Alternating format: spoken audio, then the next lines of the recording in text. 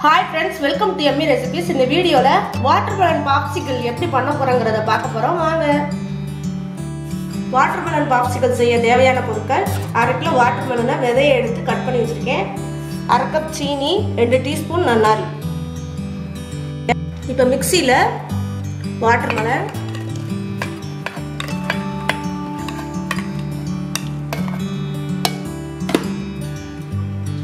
சீனி நன்னாரி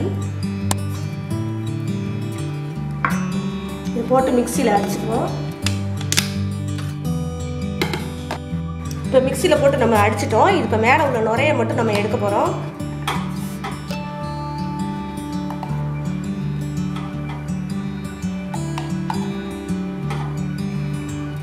இப்போ குல்ஃபி மோல்டில் நம்ம ஃபில்டர் பண்ணி வச்சுருக்க ஜூஸை இதில் ஊற்றுறோம்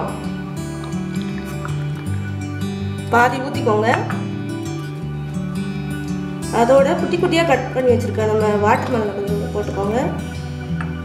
திருப்பியும் கொஞ்சம் ஜூஸ் ஊற்றுக்கோங்க